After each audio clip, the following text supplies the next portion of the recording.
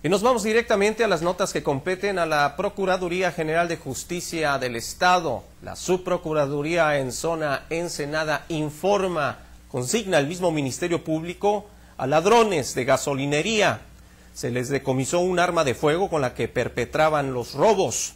Por el delito de robo con violencia fueron consignados por el Ministerio Público del Fuero Común con sede en el poblado de San Quintín dos sujetos que en días pasados cometieron un robo con lujo de violencia a una negociación del ramo gasolinero de esa zona. Los consignados son Juan Luis Santiago, de 19 años de edad, que ve en su pantalla, y Luis Raúl Lazo Lara, de 27 años. Ambos fueron encontrados como presuntos responsables de haber cometido el pasado domingo 20 de septiembre un robo violento a una negociación denominada gasolinería Los Pinos.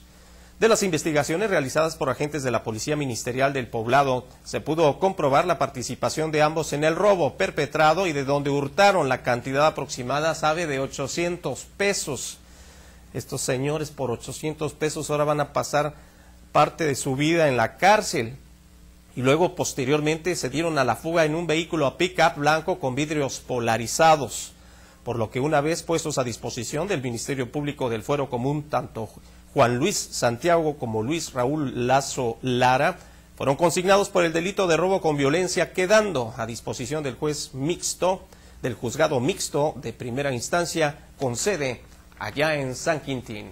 Y como, y como, sabe, esta campaña es una campaña permanente por parte de la Procuraduría y este espacio informativo de que usted denuncie. La cultura de la denuncia es importante para que todos estos que son presuntos responsables de algún delito cumplan con su condena, cumplan con su responsabilidad donde les compete detrás de las rejas.